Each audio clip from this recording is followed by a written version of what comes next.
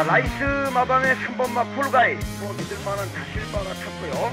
자, 외곽에서 갈고 선행으로 나설 것으로 보이고. 자, 요거는 믿을만한 대가리로 놓고 어, 공략을 하는데요.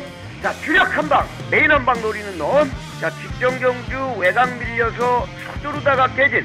자, 정우주에서 박해로 바뀐 9번마 한라 누리가 노리는 경기입니다. 쌍복식 3번 9번 3번 9번 자 한 마리 4번마 한열마 쌍복식 3번 9번 3번 9번. 자 한 마리 4번마 한열마.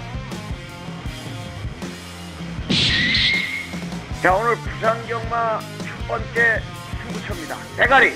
직전경기에 좀 센 편성에서 뛰었고 안쪽 게이트로 들어온 정도윤이 3번마 골드 파운틴. 다시 한번 노립니다. 골드 파운틴. 주력으로 들어가는 놈 6번만 럼파이터.